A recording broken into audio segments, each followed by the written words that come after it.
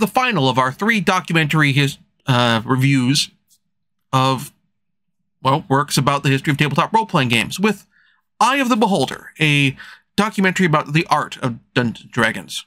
In the interest of full disclosure, as with Secrets of Blackmoor, this is a documentary I backed on Kickstarter. Well, I'm reviewing it anyway because I do feel that I am able to speak candidly about it and my thoughts about the work. Eye of the Beholder puts its primary focus on the artists and some of the art they made for Dungeons and Dragons, mainly for the game through the TSR years, covering the second and third editions of AD&D, along with the basic set, and a little bit of OD&D.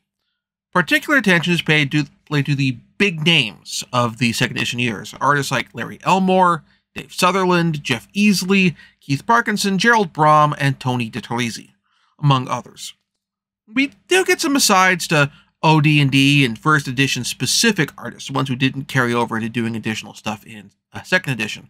Artists like Darlene and Errol Otis, but much more of the focus is on the AD&D era, and to be fair, that's because there's a lot of art that TSR put out during that era. Now, we get discussion of specific pieces of art, like Keith Parkinson's Dragonlance painting, What Do You Mean We're Lost? But a lot of the documentary is focused more on the profiles of the artists, their artistic processes, and the internal culture in TSR in the art department during this period. When we do get focus on particular pieces, we get some nice interviews from people outside of the artists who in turn discuss that piece's particular impact on them, both in terms of their emotional takeaways of the work, like, for example, an extensive uh, discussion of Tr- Dave Trampier's famous cover art for the AD&D First Edition Player's Handbook. Now, I will admit, I never had the Trampier cover. My First Edition Player's Handbook, which I had in middle school, was the Easley cover. I don't own that exact copy anymore. This is actually a nicer one. Um, the one I had is much more beat up and well well worn. Uh, but when I decided to rebuild my collection of the first edition stuff, I went out of my way to hunt down the Easley version. My monst- my DM guide and um, is also the Easley version, but do have the original cover, Dave Sutherland monster manual. Now, the back half of the documentary gets into how the art for D&D, particularly for 5th edition, has evolved over time and tried to get more inclusive, both by scaling back some of the gratuitous cheesecake from earlier editions, as well as making sure people outside of just, you know, white dudes are represented in the game's art as well, and represented well, combined with some interviews with some of the artists for 5th edition D&D who give their thoughts on their process and how they interpret their art in the context for 5th edition uh, and previous artwork while also showing their appreciation of the artwork from previous editions as well. As a documentary, this doesn't stand alone as well as I'd like. There are moments when we focus on particular paintings and other works and see the artists giving their thoughts on making them, uh, like with Darlene giving her thoughts on making the classic original Greyhawk map for the original World Greyhawk box set. And also seeing the other artists give the thoughts on the work as well as artists reacting to, um, well, the What Do You Mean We're Lost painting, which is fan- a fantastic painting, along with various um, gamers giving their thoughts on the work as what and various paintings and stuff that inspired them.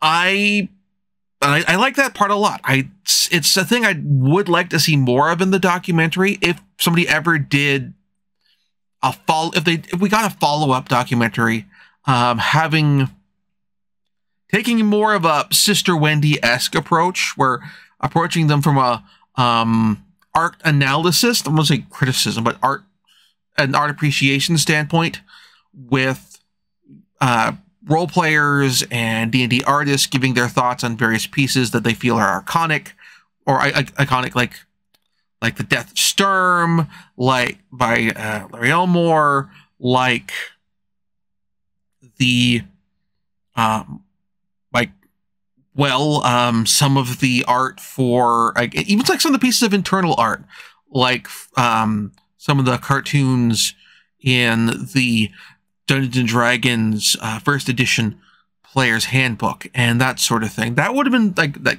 That would be a enjoyable documentary uh, as far as a follow up work. But I also do very much appreciate the look inside TSR, the working environment that these artists created these um, fantastic, in multiple senses of the term, um, creations in. And I like and it's important to discuss like how the original pieces were spectacularly undervalued by management as TSR approached its end and why so many of these original pieces are potentially like have been potentially lost forever assuming somebody at the dumpster just didn't snap a cop grab a copy of a painting that they thought looked cool or that sort of thing I strongly recommend if you enjoy this documentary or want more coming out of it, picking up a copy of the Art of Arcana book, which I have previously reviewed. There will be a link to that previous review up in the corner, and I also a link in the show notes. Both works combined do a great job presenting a full picture on its own, and both of them on their own are also good, but in isolation, there are bits that feel like they're missing. And they make a much better whole than they do standing alone. I will have links to both of those works in question, um, both Eye of the Beholder and Art and Arcana, if you want to pick that up after having already gotten the documentary. In the doobly doo, there'll be affiliate links. Buying anything through them helps support the show. So that's all of the RPG history stuff for this month. August of next year, we will turn to another series of works specifically related to role playing games. Um, I have my copy of Game Wizards that I by Jon Peterson I need to read, and there's another follow up book that's come out involved about um, TSR's history and the transition to Wizards of the Coast that I hopefully will have read by then. And I still need to review on this channel the Elusive Shift. So, well, depending on uh, how many Wednesdays we have in August of next year, we may have a, another big um, helping, uh, a hero's feast, if you will, of role playing history for that for then. Next month we'll get back to the Nightfall, or next week rather, we'll get back to the Nightfall Saga and the Talisman.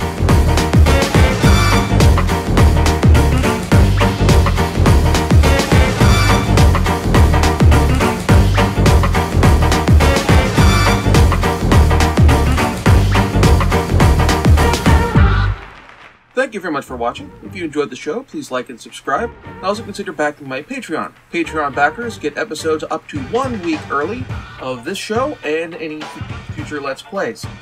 Also, please consider backing my Ko-fi. Uh, cost me a few bucks, also helps support the show, and it's not a monthly obligation or anything like that.